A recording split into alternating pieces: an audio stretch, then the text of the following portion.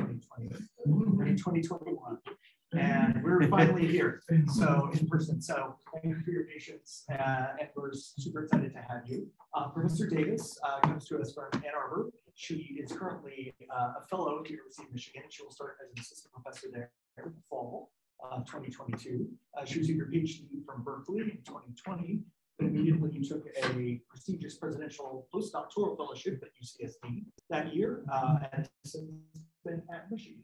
So she works on, broadly speaking, comparative politics and political behavior with a specific interest in sub-Saharan Africa. So today we're going to hear about some of her work on her broader project on democratization uh, in post-conflict societies Africa.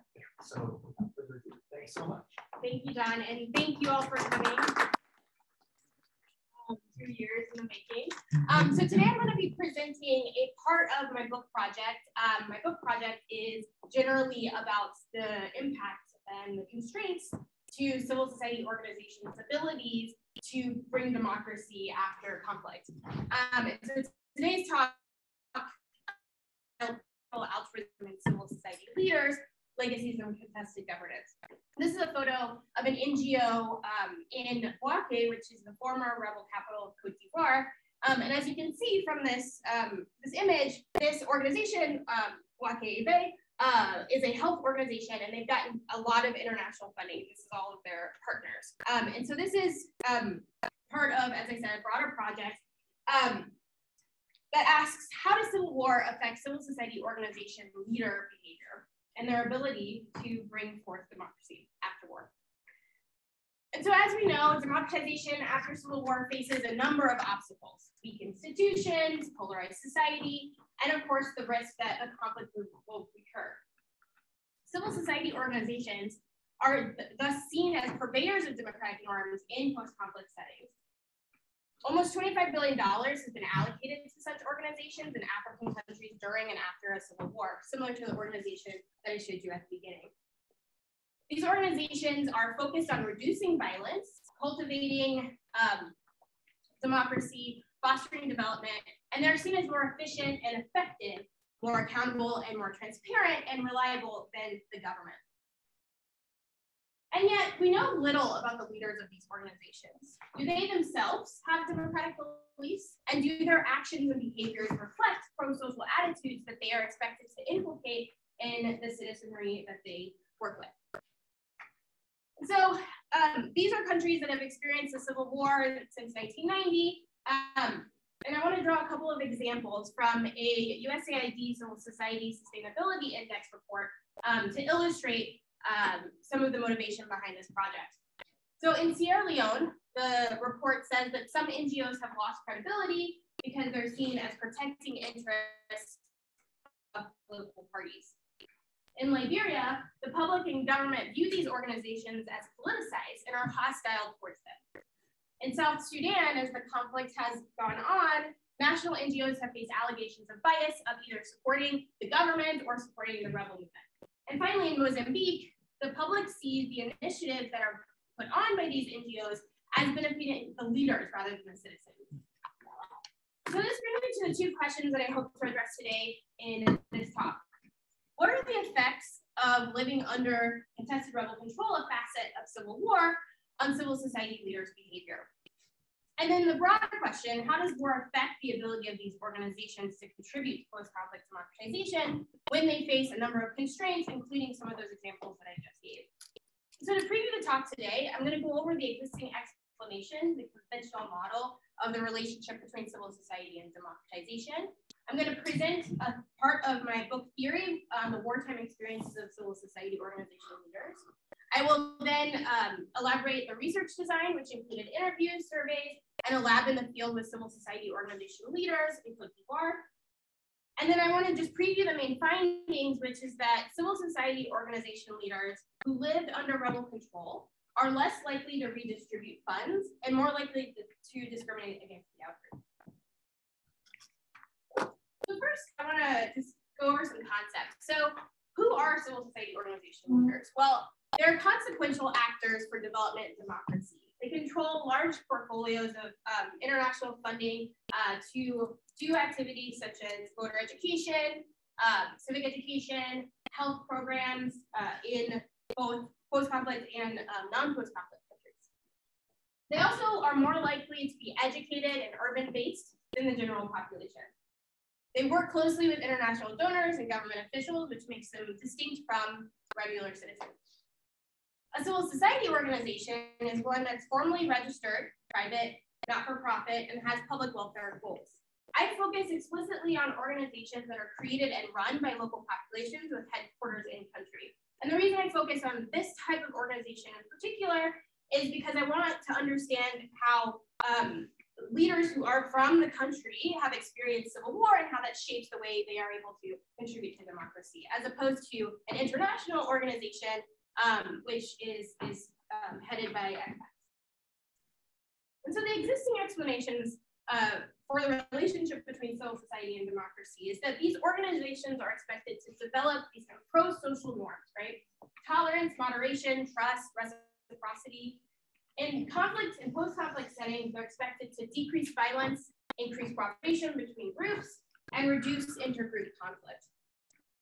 But I join a subset of scholars that look at civil society and argue that the institutional environment in which these organizations emerge and are operating may actually induce negative behaviors as opposed to these kind of more positive pro-social behaviors that are expected.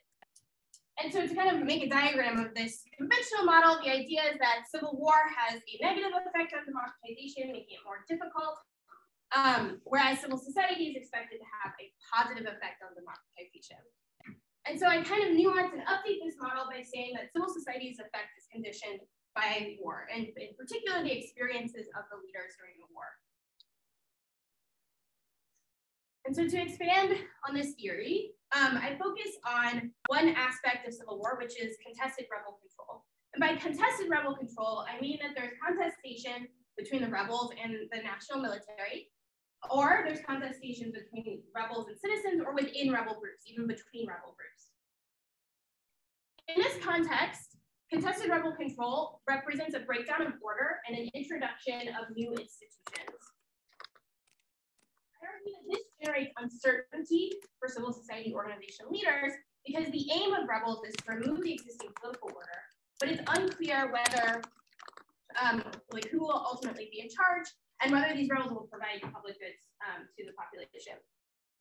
I thus argue that contested rebel control is more destabilizing for these civil society organization leaders than continuous government control due to this uncertainty. And what do I mean by uncertainty? So I conceptualize uncertainty as unclear variation in access to public goods. And so if these civil society organizations are expected to be delivering these public goods, but they don't know if the rebels will or the government will, um, that creates uncertainty. I also conceptualize it as fear of an actual experience of violence um, by the rebels, by the government, by whomever. And then finally, that uncertainty um, manifests in concerns over whom to trust um, for these civil society organization leaders. These leaders are seen as first responders during wartime and are often um, allocated aid and um, activities, um, humanitarian aid activities. And so the uncertainty that is generated by this contested rebel control affects how these leaders are able to interact with formalized entities, whether it's the government or the rebels, whether they can access communities that need this aid, and whether they receive funding from inside and outside of the country. And so I argue that living under uncertainty and contested rebel control induces parochial altruism. Parochial altruism can be thought of as increased uh, allegiances um, and harden hostility towards the out group. And so it means you'll help your group first and you'll discriminate against the, the out group.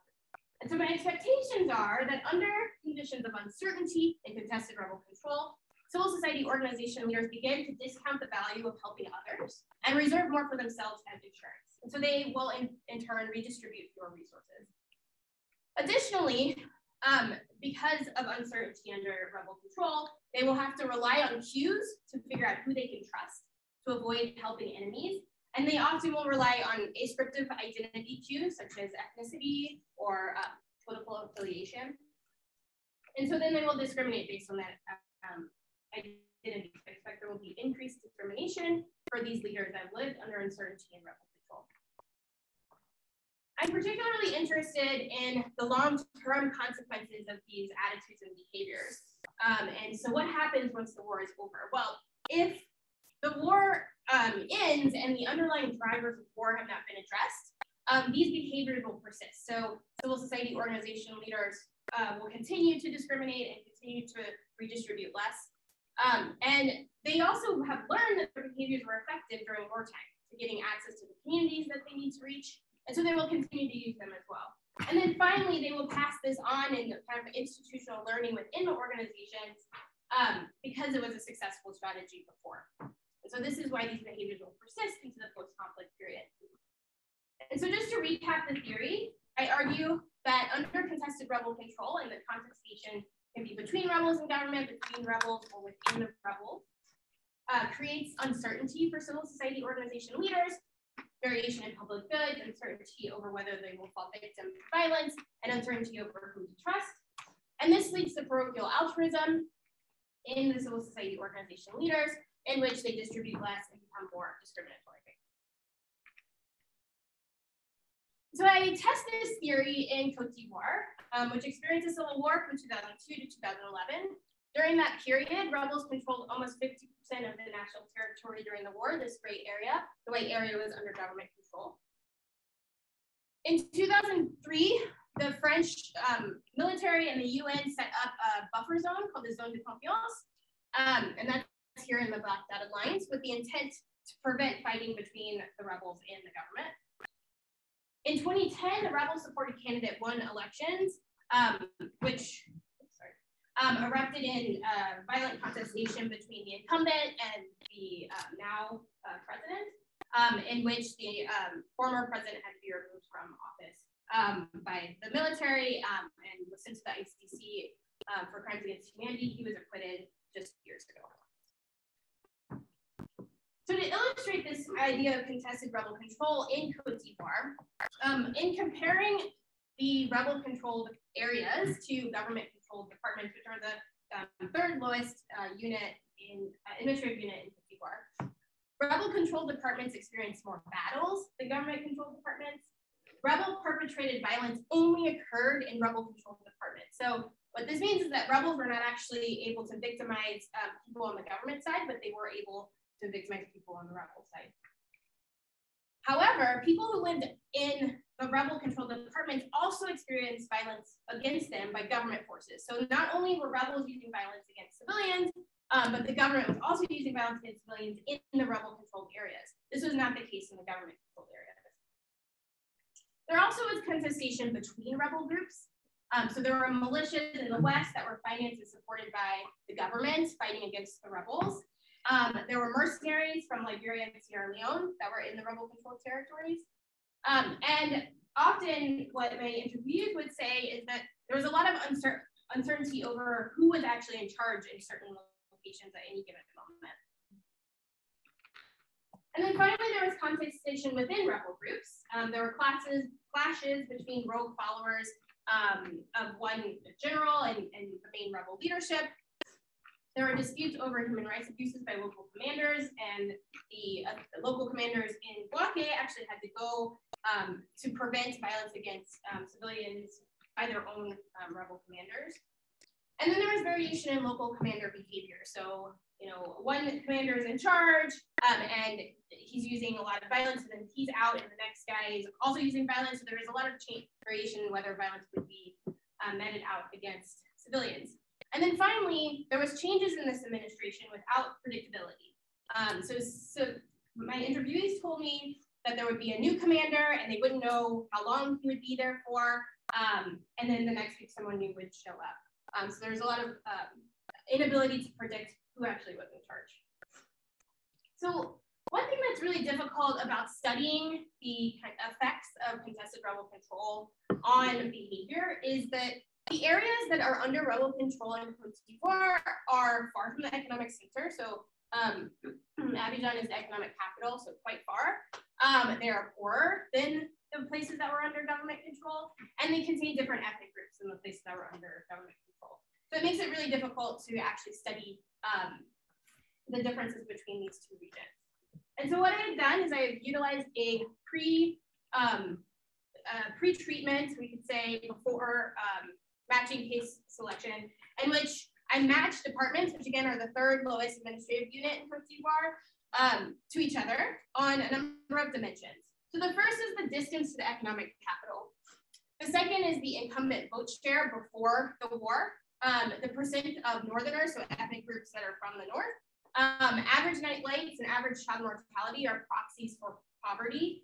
Um, and so I matched departments on these dimensions with the idea that by trying to um, eliminate these kind of observable geographic and political factors, uh, we can get closer to understanding the, the, the effect of um, contested rebel control on civil society organization leader behavior.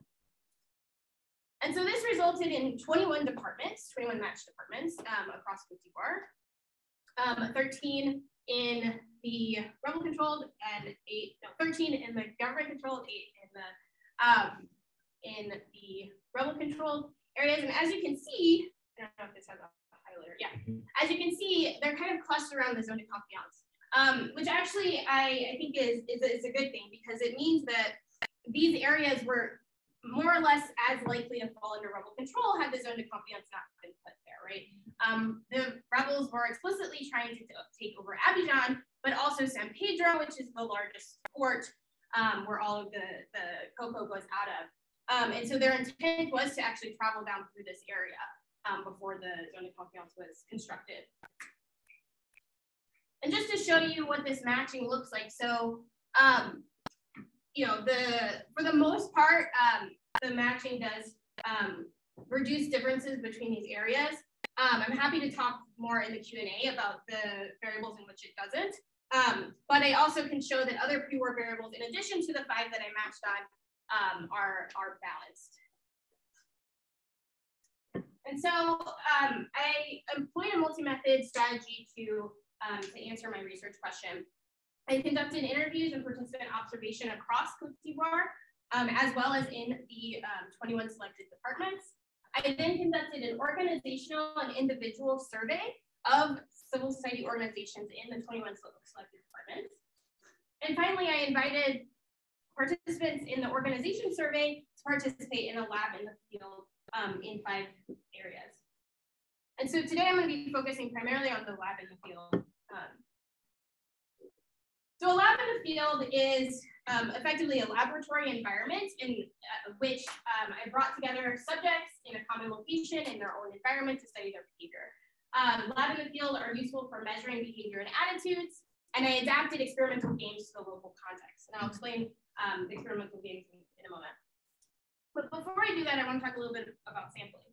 And so I arrived in Cote d'Ivoire in 2017. I was like, okay, I need to get a list of civil society organizations, and then I will sample from this list.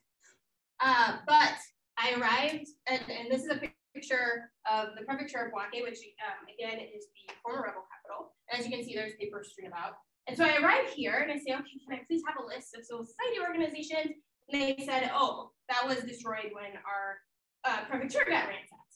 And this was a common story across the country where lists just didn't exist. Um, there were poor record keeping of registrations, there was lots of administrative data during the war and after the war. Um, and so it became kind of impossible to get kind of a comprehensive list um, from any one place.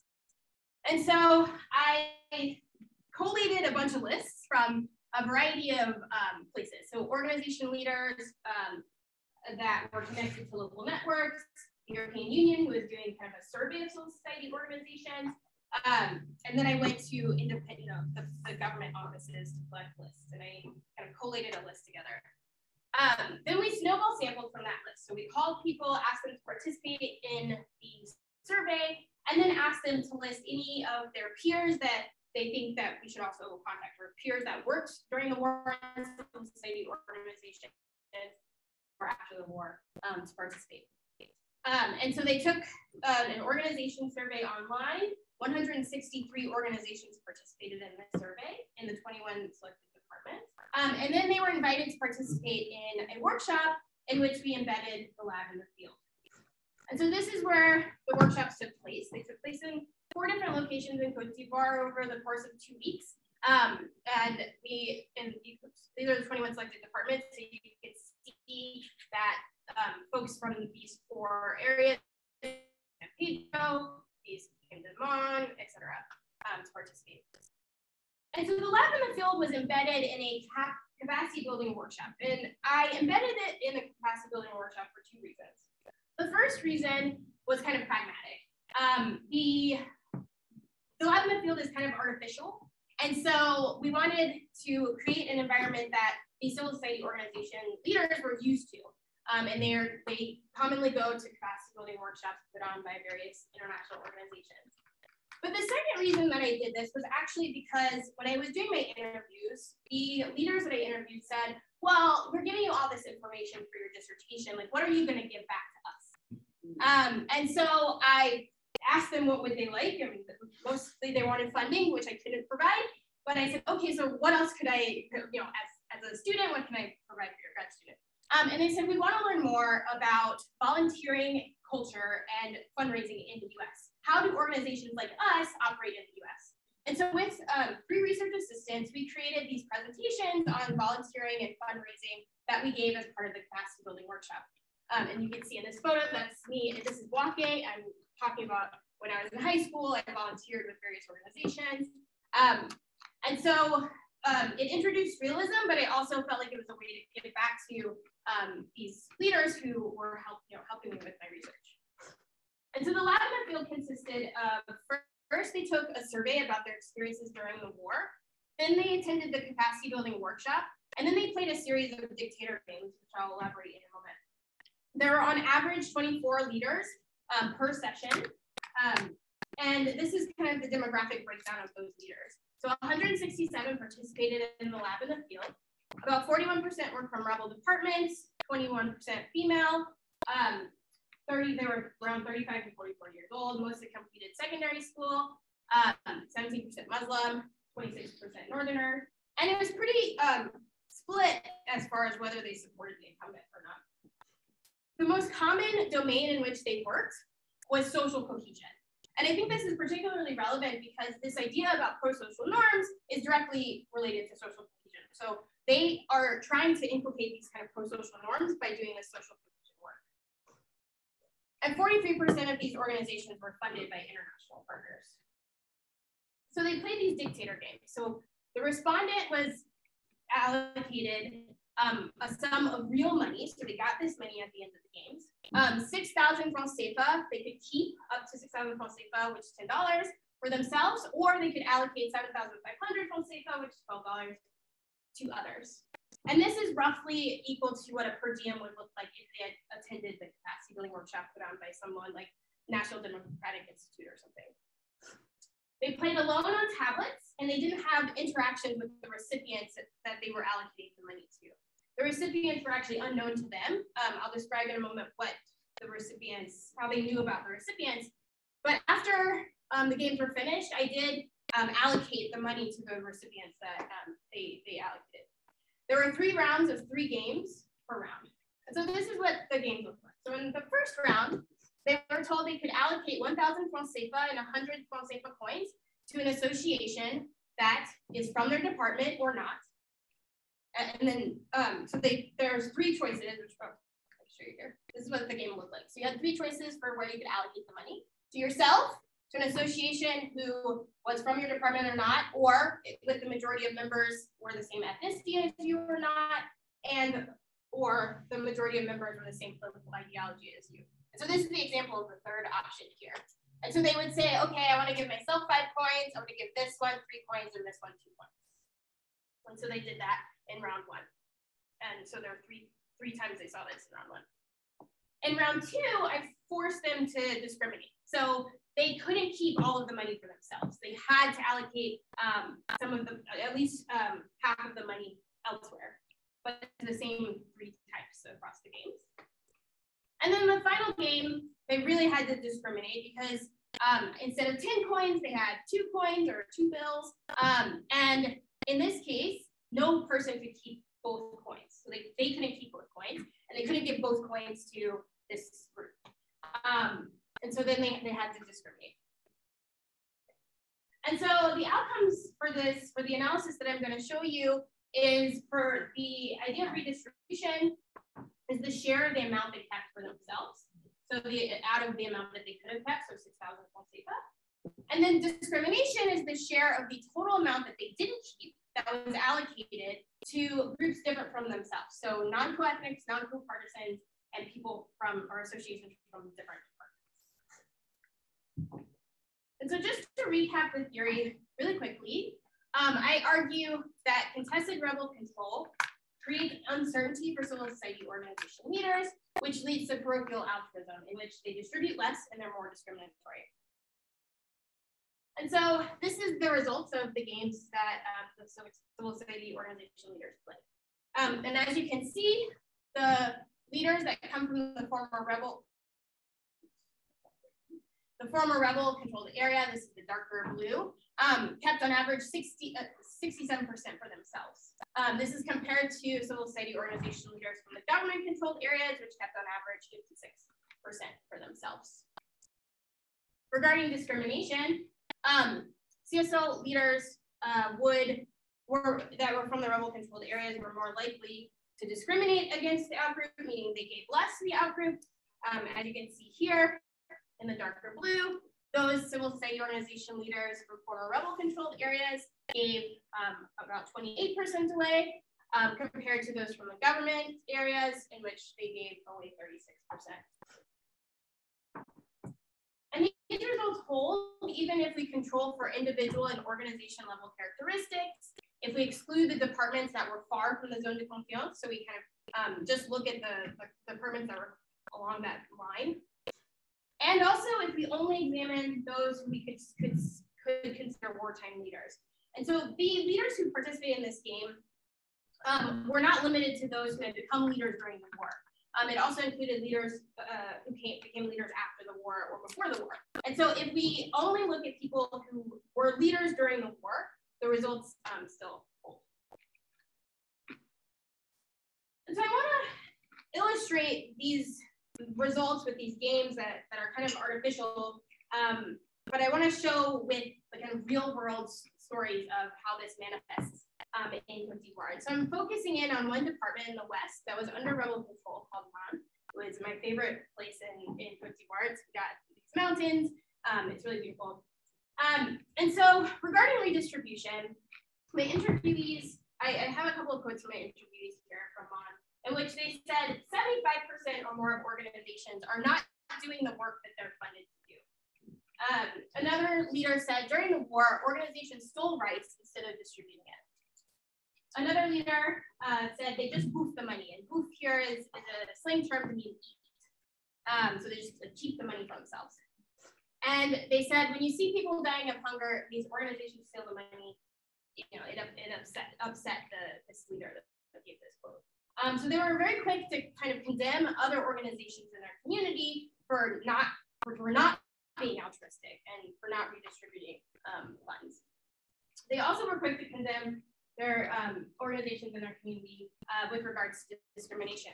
So one leader said that um, that he never gets invited to events that are put on by some organizations uh, because he's not the same ethnicity as uh, the leaders of those organizations. So and he said they those organizations help their own ethnicity and forget about others um, and see other organizations as enemies. One civil society organization leader who originally was from Abidjan but was living in Man said, I'm Ebrié, which is an ethnic group in Abidjan. Um, and he said, I have no friends here. It's difficult to work with leaders here. And he attributed that um, to his ethnicity. And so the mechanism here is uncertainty, this idea of uncertainty. So variation in public goods, fear of and experienced victimization, and uncertainty over whom to trust. And so in the survey that they took during the lab in the field, I asked, to what extent do you agree with the following statements? During the war, I felt in danger. I did not feel that the rule of law persisted. I did not know who was in charge. I feared the rebels, I feared the government, and I felt discriminated against due to my identity.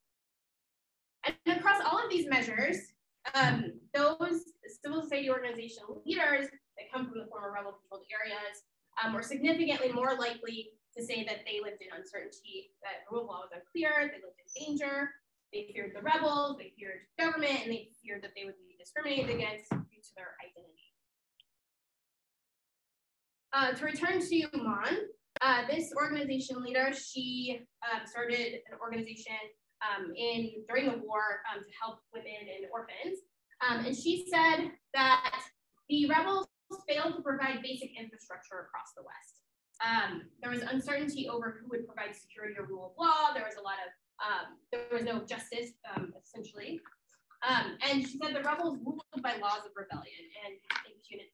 She actually was arrested during the war uh, because um, they thought that she was colluding with the government. Um, and she was targeted because of her last name, which sounds like a name um, that comes from the former government's ethnic group, but she actually isn't a member of his ethnic group. She also described that during the war, she felt that she uh, would be victimized um, due to her work that she was doing. Um, she had trouble accessing communities and was threatened by rebels because of the work that she completed. Um, as I mentioned, she was accused of supporting the government due to her ethnicity, and rumors about partisanship abounded across um, the communities, and many communities were hesitant to work with these civil society organizations because they didn't know whose side they were on. And so to conclude, um, what I've made a contribution to is I've elaborated a theory of how the wartime experience of civil society organization leaders affects their behavior. Um, I've shown some national variation in the impact of civil war on the potential of these organizations to contribute to democracy. And I leverage lab in the field design with pre-treatment matching strategy to answer theoretically motivated yet difficult to answer questions. As for the implications of post-war democratization, if civil society organizations leaders behave this way, they may reinforce cleavages that existed and were um, the origin of the war itself. They may also contribute to polarization um, if civilians think that they're partisan um, and if they are discriminating against certain groups. And it may inhibit the distribution of resources inclusively to communities that need it. Um, and so one takeaway is that we can't assume that these leaders will contribute to democracy unless we consider the dynamics that shape their behavior. Now, to be clear, I don't want the takeaway to be that these civil society organization leaders are bad people. They had to come up with strategies in order to navigate and survive living in you know, this uncertainty during the war. Um, and they do generally um, want to contribute to the betterment of society um, but they are constrained because of their experiences and, and have had to develop these behaviors and attitudes in order to get their work done. And this is part of my broader book project, which is entitled Uncivic Legacy, Civil Society and Democratization in Post-Conflict Africa. Um, it, I, I, you know, illustrate the puzzle of civil society democratization after war. I presented here today part of the theoretical framework on the wartime experiences of civil society organization leader behavior. Um, I also developed a theory about post-war politics um, and the organization leadership behavior, as well as a theory on citizen and civil society relationships in post-conflict settings. And then I presented one of the empirical chapters on the wartime experiences of leaders. Um, and the other empirical chapters will look at uh, the post-war environment and how rebel victory has led to ethnic favoritism in civil society and the impact that can have on redistribution and discrimination.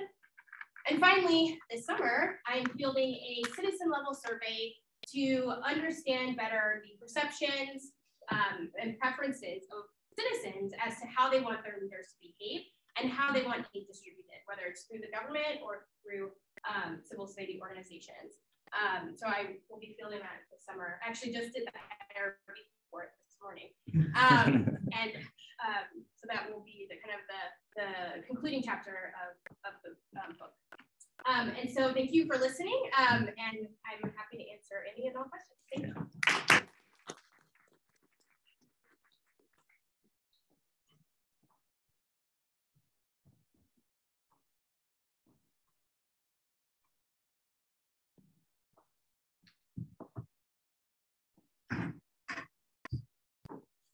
All right. Um, I will keep a question queue for Professor Davis. Um, if folks online want to make sure they have an opportunity, if they could put a question in the chat or use the raise your hand function, whichever is most convenient. I'll make sure I'm checking in on that as well. But any questions? Oh, sure. Thank you for your presentation. Um, I just have um, so um, I'm just wondering how you theorize the very idea of civil society.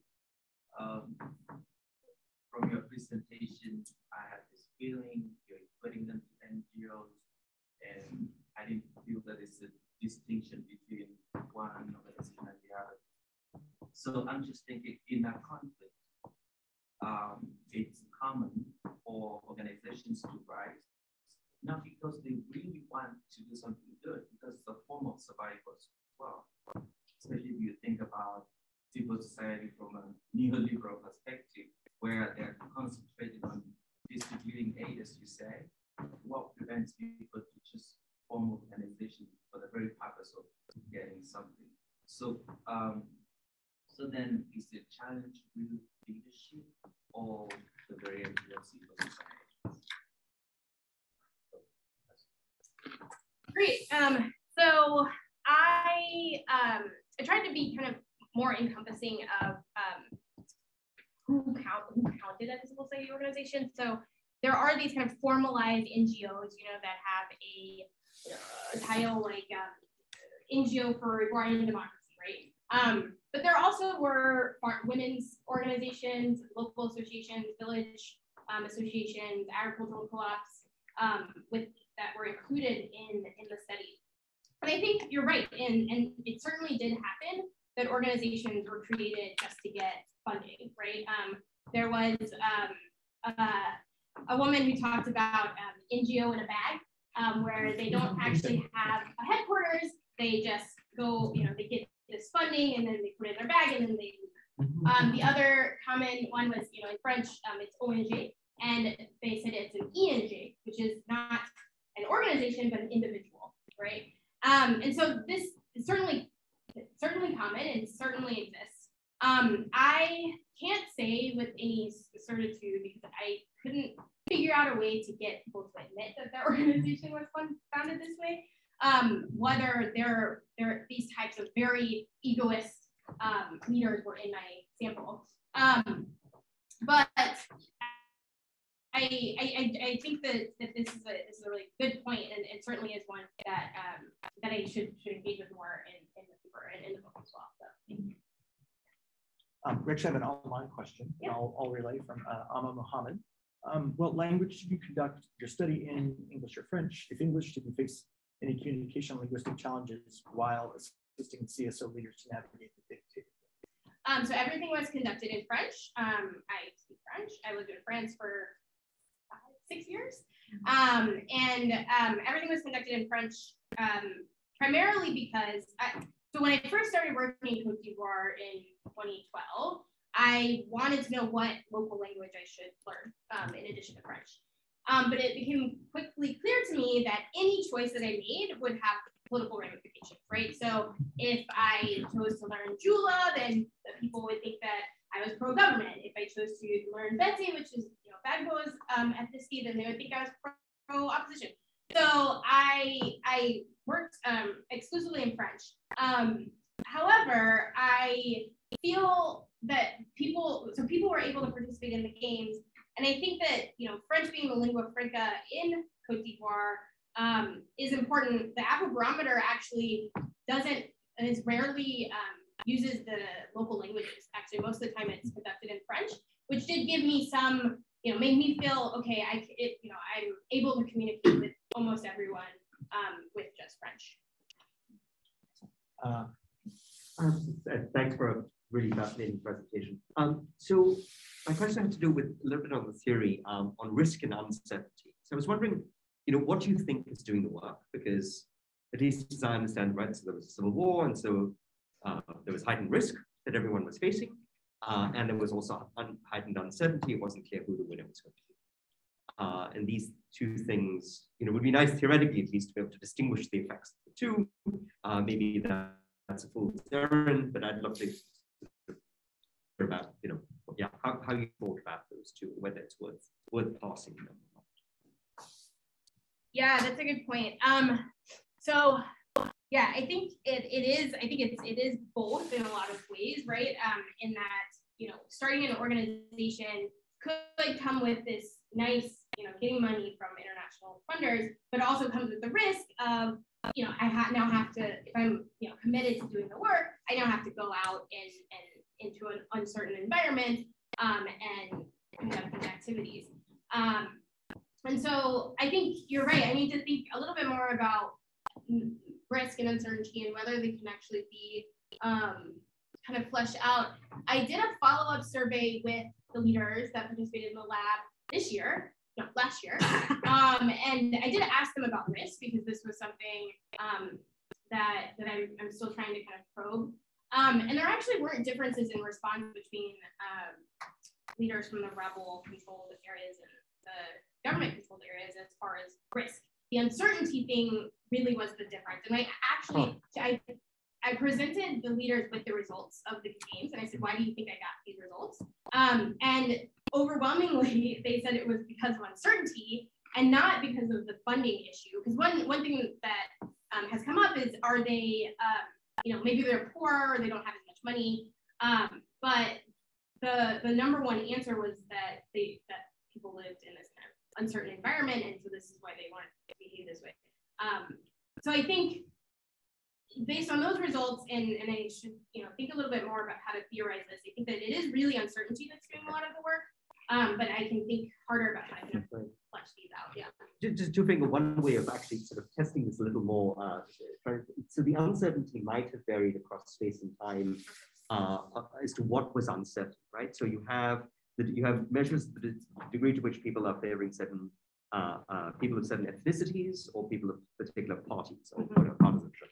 And so in places where partisanship was more contested, you should see particular patterns versus where ethnicity is more relevant. Yeah. yeah. Great, thank you. Uh, Thank you for this great presentation. Not my field, but I part of the reason I love Africa at Noon is all these new things.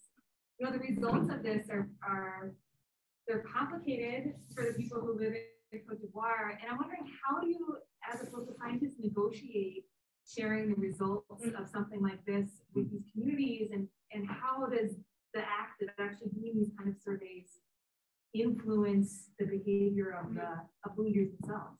Yeah, so that's a great question. So I was wary about presenting the results, um, especially to the leaders who come from the rebel areas. Although, you know, I made clear that like I couldn't distinguish who was which, you know, like um, from the from these kind of um, aggregated results. Um, but I talked to my RAs about it, and they said no, like they they should know, you know, we should share with them the results, um, and then get their opinion on why we got these results. So what I did in this follow up survey was I asked first, what you, like I just explained, this is what the games you played, this is this is what we were actually doing, um, and so I said, which way do you think the results went? And I asked, you know, do you think that the rebel controlled areas gave more or kept more? Or, um, and then I had them explain why they said thought that. Um, and the answers were, were it, it, was kind of remarkable because I was worried that like my theory was wrong, right? Um, and they actually validated my theory. They said, oh, well, like th there was one really great quote um, that I have in the book chapter where a guy said, yeah, they, they're going to help themselves out first because they lived in this, like they were living with the rebels controlling them, and then they will help others. And so they were kind of not surprised by the results, and they um, weren't, they didn't express, at least to my knowledge, like any you know, anger at me. And I tried to kind of, you know, um, frame the, the, the follow-up survey as, you know, we're, I'm trying to understand why I got these results more than like, this is you know, this is how these people behave. Um, and so they gave me a lot of feedback on ways that they thought that this relationship was working. Um, and so it felt more like they were trying to also just like understand it themselves as well as um, understand the, the, the, the work. Yeah. Thank you for this very fascinating presentation. So mine is more comments but yeah, I'm gonna direct the patient to you. So it's about the point you made when you said that your research collaborators um, were interested in what you are going to give back to them or what they will gain from you after they after you, after they've supported you or helped you, assisted you with information. So it made me kind of wonder, and I don't know how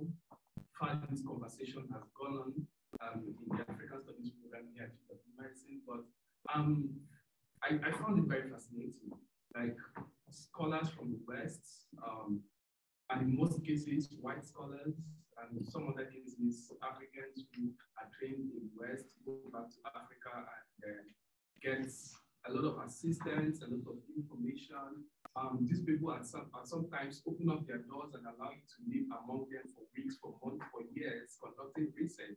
And what do we give back to them? I know these scholars, scholars do not have money, so we may not be able to provide money for them, but what do we give back to them? How do we um, repurpose our research or position our research in such a way that it will be useful to this society. Um, because most times we end up producing book monographs that you find out some of these books are not afford. Mm-hmm. Yeah, some of the native people may not be able to afford it. So how do we, and I don't know if aside from what you did in the workshop, if you also thought of um, other ways in which your research can be useful to these people and society. Yeah, so that's a this is a question that is very important to me. So um, that was one of the reasons why I wanted to incorporate the you know the, workshop into the lab in the field um, was because I got this feedback from people. Um, I also I've run um, trainings um, in statistical software in Abidjan for um, people who want to learn more. So like I taught R classes, which was actually kind of me teaching myself and then me teaching them. But so I've done things like that. I've done some collaborative research projects. I've done some publications with local folks. Um, I um, actually just did, um, I have a co-authored paper um, where we asked, we looked at um, survey enumerators and asked them about their experiences conducting surveys because often when we think about IRB, it's only protecting the respondents. Um, it's not actually protecting the people who collect this information. But these people are going into violent, potentially violent settings, potentially being harassed. Um, and we conducted a survey of enumerators in Cote d'Ivoire and we asked them, you know, what challenges did you face? And over 60% faced violence to them to themselves, either through harassing threats of violence or actual violence, being detained. Um, and that, that was shocking to, to us. Like we we expected there to be some level, um, but not quite that high. Um, and so we asked them like how could we improve, you know, survey research because a lot of us, you know, rely on survey research in, in Africa and especially in these kind of um, post-conflict insecure settings. Um, and so what they actually said was the issue is primarily with the respondents themselves. The respondents don't know why you're coming. They don't know why you're asking these questions about politics. Um, they don't know what you're going to do with the information. You say you're from, you know, you work for a researcher, but I don't know who. Um, so, and, and the Afrobarometer actually has a question at the end that asks who sent who sent us, um, and a high proportion say the government. So they think that it's the government that's asking these questions. And so, one suggestion um, enumerators made was to make the results legible to the population that's participating. Um, and so one suggestion in this article that we, that's currently under review that we wrote, was um, you can maybe give a card when you do a, interview or do a survey that has a link to where you could put the results. And it would be not like the, you know, the hard to interpret statistical results, but maybe just some descriptive statistics um, just to show the respondent how things are aggregated, right? So it's not just you, you said this, it's this many people said this, right? Um, and they may be able to access the results that way. Um, and to kind of create this communication line between the researcher who's often abroad um, and the local population. So that was one other um, idea that we had and we kind of put it into practice by, we distributed the results of this enumerator survey back to the enumerators that participated. Um, so those, yeah, so those are some ideas. And I, I, yeah, I'm trying to not be extractive, right? Like I don't want this job and my career to be built on extraction. And so um, I it's really important to me to figure out ways. Even you know, I don't have tons of money to like do it.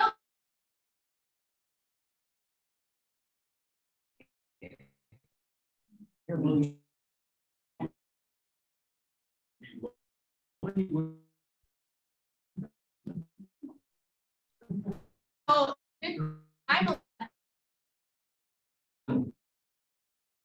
um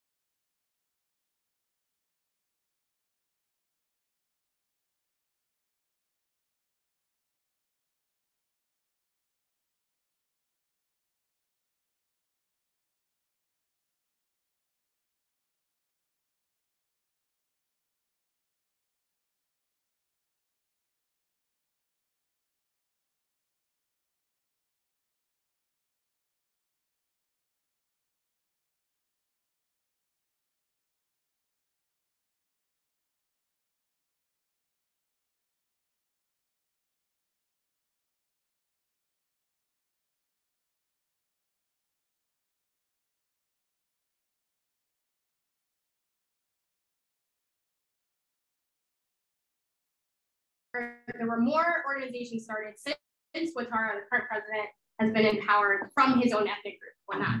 And what I find is that there was a huge uptick in organizations started by um, his co-ethnics, co-partisans after he came into power, and they're more likely to work in democracy promotion.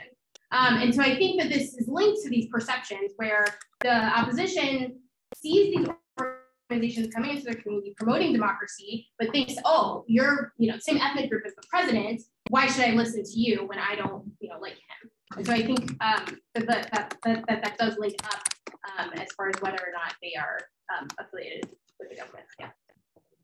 Uh, uh, short, but thank you so much for your talk. Um, uh, Mr. Hassans and your talk me of um, Schatzberg's work on political legitimacy in government.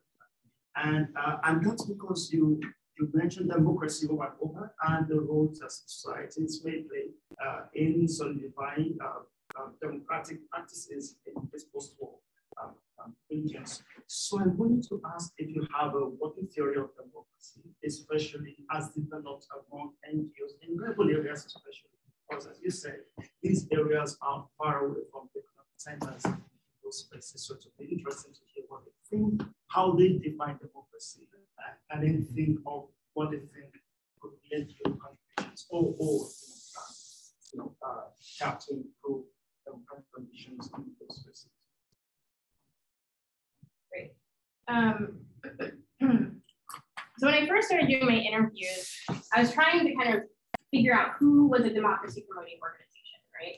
Um, and so I would ask, you know, your democracy activities you do them. I just kind of asked a kind of very simple question.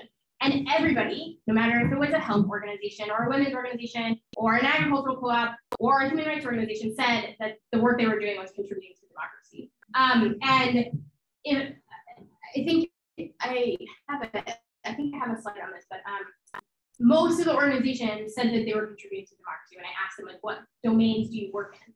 Um, and so they all had, as you as you know, different ideas of how what their work was doing was contributing to democracy. So like health NGO, they said they're um, creating more access to healthcare, um, which is kind of democratizing access to healthcare, right? Um, and so they weren't necessarily doing things like voter registration, um, but they felt in the activities that they were doing was somehow contributing to democracy.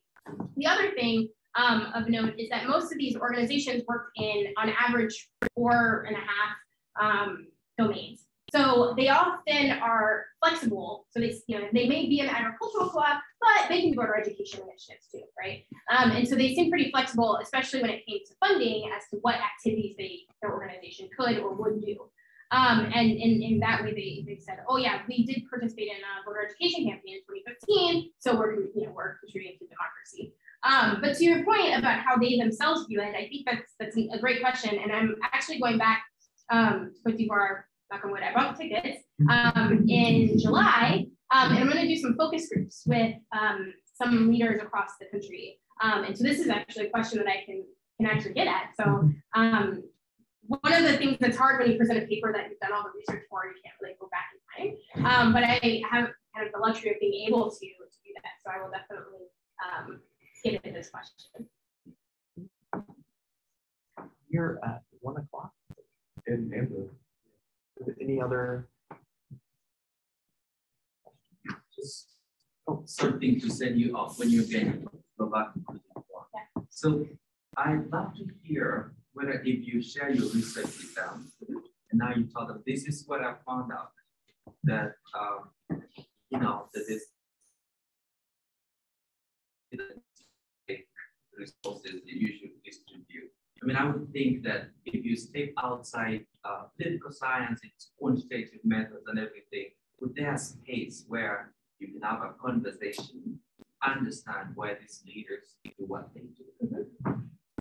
Yeah, so that's I think I will try and create that space with these with these focus groups in particular, um, because I do want I also, again, like I said earlier, like I don't want the takeaway to be that these are like bad people. I mean, I think there are definitely, as you noted, um, people who just start organizations to steal money, right? Um, but I also think that there are people who really care about their communities and they're trying to do whatever they can to help um, in, in whatever capacity. And so that's the other reason as well that I'm um, doing a citizen survey because I am curious whether maybe citizens don't care that the NGO leader keeps you know, a lot of money for himself, but then distributes the rest, right? Because they're like, oh, we're all resource poor. So like, of course, it gets money, they're gonna keep a little bit for themselves, right? Um, and so maybe that's less of what matters. And maybe the really big thing that matters is this discrimination aspect, right? Um, or maybe some people prefer the discrimination because they feel like their group needs more, right?